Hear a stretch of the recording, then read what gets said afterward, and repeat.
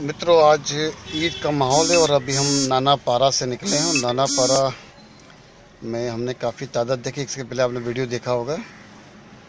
हम खैर मनाते रहे कि चलो, किसी अच्छा है, किसी का पारा नहीं चढ़ा।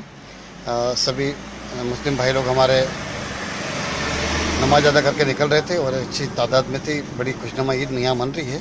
और हम अभी नेपालगंज से 12 किलोमीटर दूर है मतलब नेपाल सीमा के करीब है। और नेपाल के बाद नेपालगंज में हमारा स्टे रहेगा उसके बाद में हम आगे अपने तय कार्यक्रम से जाएँगे। आ, अभी सुबह का दस बजना चाह रहा है और सुबह छः बजे करीब हम लखनऊ से निकले थे। तीन घंटे का सफ़र हो चुका है बीच में हम दो चाय ले चुके हैं। खाना तो नेपालगंज में ही खाएँगे।